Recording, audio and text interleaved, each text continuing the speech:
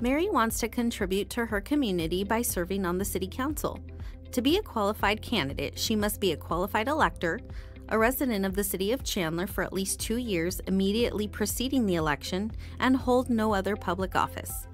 Mary files her candidate statement of interest and is ready to begin the nomination process. Before collecting signatures, she inserts her information into the heading of the petition form, adds her photo, and makes copies of the petition sheet to circulate for signatures. No corrections to the heading can be made after the petition is circulated.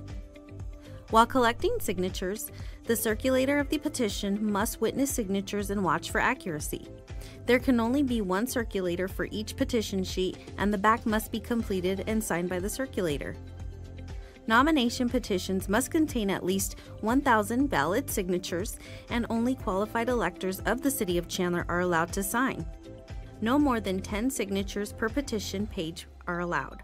Signatures placed in the margins will not be accepted. There must be a complete address listed. P.O. boxes are acceptable in the address field. Date includes the month, day, and year. Ditto marks will be accepted in the address and date column as long as the line being repeated is correct.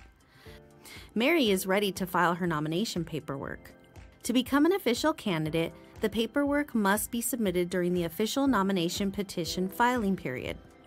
Mary contacts the city clerk to set an appointment which will last about 30 to 40 minutes. She brings the nomination paper, financial disclosure statement, and all nomination petitions with the minimum required signatures. The city clerk reviews the documents, determines the number of signatures, and issues a receipt. Mary knows that all documents filed are public record. The city clerk will only accept one supplemental filing of additional petition sheets prior to the candidate filing deadline. Mary has become an official candidate for City Council. She will now begin campaigning and adhering to all of the campaign finance laws.